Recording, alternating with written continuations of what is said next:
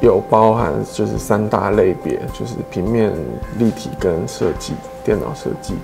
呃，我们学校的创作的风格其实是蛮多元自由的。对，那在呃摄影术发明之后，大家的呃绘图的想象其实也是越来越自由。那其实呃，例如说平面的话，可以从写实，然后到呃有一种普普卡曼式的风格都有。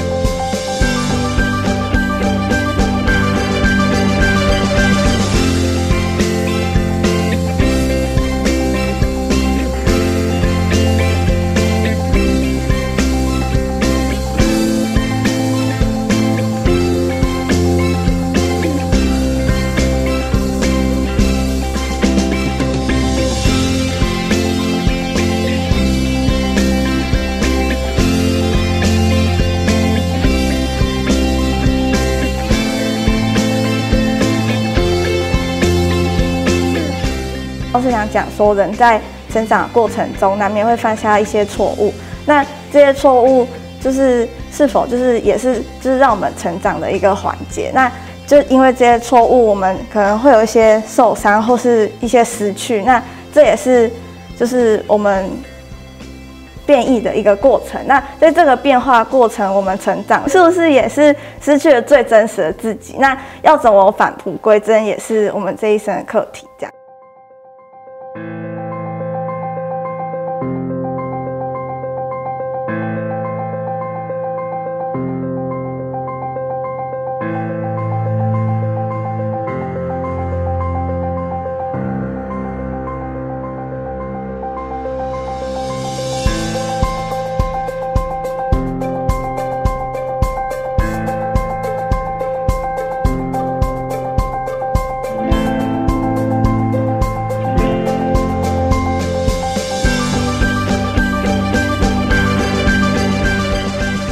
在我的作品里面，都会有一些像这种小蓝窗。那那个小蓝窗主要象征的是现实的世界，所以由内心世界里面的空间，然后中间带有，那就是画作画面带有现实的世界，这会产生一种矛盾感。那这种矛盾感就是在我的那个生活经历是很常有的一种感受。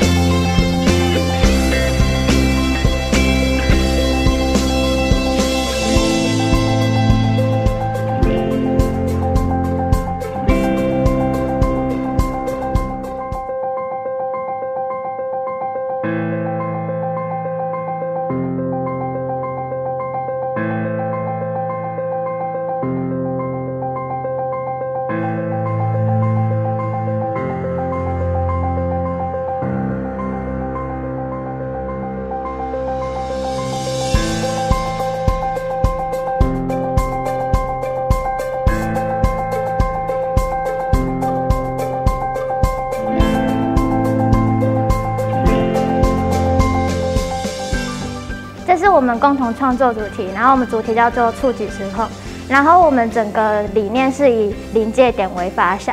然后就是当我们我们日常生活中都遇到大大小小不同的事情，如果我们没有适时的排解的话，可能会一瞬间的失衡